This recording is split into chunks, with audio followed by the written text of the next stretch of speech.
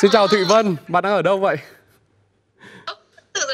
Chuyển động cơ mà. Tất nhiên rồi, tớ đang lên sóng uh, trực tiếp chuyển động 24 giờ ngay bây giờ đây.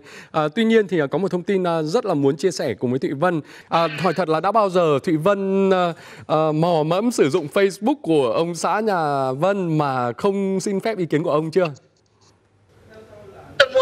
Vì anh nhà tới thì không có Facebook, có gì hay à?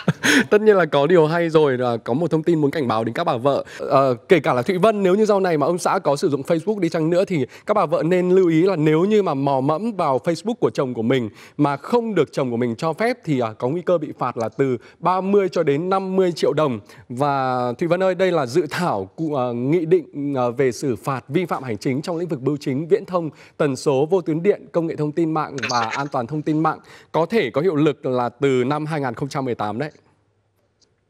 Vậy là cũng có thể xử phạt thì ông chồng mà tò mò Facebook của vợ đúng không? Cảm ơn đã thông tin nhá. Rồi.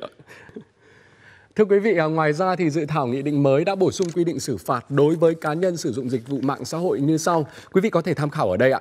Những quy định mới ra đời sẽ giúp bảo vệ thông tin cá nhân trong môi trường mạng xã hội rộng lớn như hiện nay.